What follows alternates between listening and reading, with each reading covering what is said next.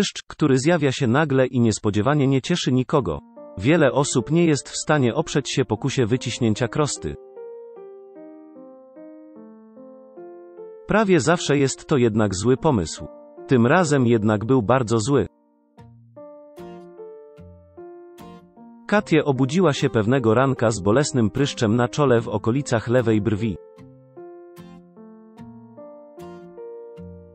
Jak tylko go zauważyła, od razu przystąpiła do działania. Niemal natychmiast wycisnęła pryszcz. Godzinę później ze zdumieniem odkryła, że miejsce po pryszczu zaczęło puchnąć i boleć nie do wytrzymania. Spanikowana Katie udała się do szpitala. Na miejscu usłyszała szokującą diagnozę. To nie był zwykły pryszcz. Katie cierpiała na celulitis, nie mylić z celulitem, skórką pomarańczową na skórze. Celulitis to zapalenie tkanki łącznej, choroba bakteryjna, która może mieć bardzo poważne powikłania, może doprowadzić do zapalenia opon mózgowych, a nawet sepsy. Przyczyną jest zakażenie bakteryjne, zwykle gronkowcami. Zdarza się, że do celulitisu dojdzie bez uszkodzenia skóry. Najczęściej narażone są osoby cierpiące na egzemę, łuszczycę i grzybice skóry.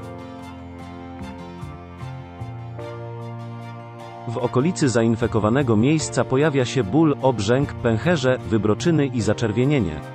Jeśli stan zapalny rozprzestrzeni się dalej, pojawiają się stan podgorączkowy lub gorączka, dreszcze, poty, bóle głowy, nudności. Niekiedy infekcja może się rozprzestrzenić krwioobiegiem po całym organizmie. Katie spędziła w szpitalu 4 dni zanim uznano, że jej stan pozwala na kontynuowanie antybiotykoterapii w domu. Niewykluczone, że Katie infekcji nabawiła się nie myjąc pędzli do makijażu. Teraz dziewczyna ostrzega innych przed tą niebezpieczną infekcją, którą łatwo pomylić z typowym wypryskiem.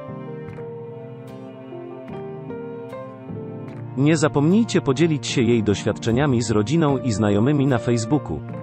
Ta wiedza może uratować życie.